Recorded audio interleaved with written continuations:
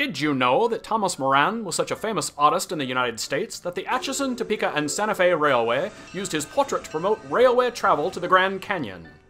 As though travelers might have the opportunity to see not only the spectacular geology of the Grand Canyon, but also the legendary Thomas Moran if they took a trip on the Santa Fe. Say, dear, this Grand Canyon is splendid, but I sure hoped we might see Thomas Moran too. Yoo-hoo! Moran first visited the Grand Canyon in 1873, but in 1892, the Santa Fe Railway hired him to promote travel to the South Rim. To get a new perspective on the canyon, he lowered himself on ropes 2,000 feet into the depths of the canyon.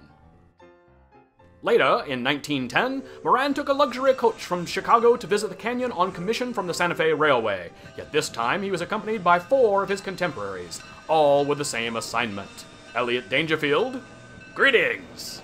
Frederick Ballard Williams, salutations! DeWitt Parshall, charmed, and Edward Potthast. Tally ho! In order to impress the artists with the grandeur of the canyon, the artists were blindfolded and hurried to the south rim, where they could appreciate the spectacular view bathed in the glow of the setting sun. Spectacular! Tremendous! Sublime! Ecstatically resplendent! See Thomas Moran in Ticket to Ride Artists, Designers, and Western Railways, only at the Fred Jones Jr. Museum of Art, October 5th through December 30th, 2018.